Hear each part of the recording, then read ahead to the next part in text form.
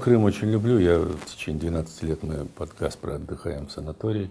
Причем санаторий такого советского типа, с такими тетушками, которые э, очень здорово работают, честно относятся к своим обязанностям, обязанностям.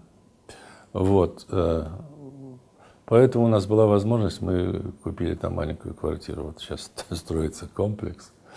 Вот.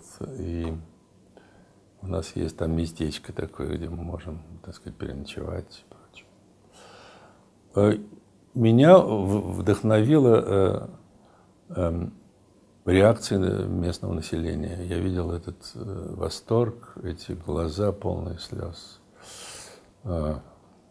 ветеранов и, и, так сказать, матерей многодетных и прочих. И это была эйфория, конечно, Э, да, сейчас надо работать. Я думаю, что много трудностей, много опасностей есть для Крыма, э, вплоть до провокации. Вот недавно там нашли, обнаружили там диверсионные группы и прочее. Э, вот поэтому жизнь будет напряженная, но я желаю счастья крымчанам. И, и, и много лет назад я написал песню о Севастополе, но с крылатым Женей, замечательным композитором. Над волной и синюю, город любимый.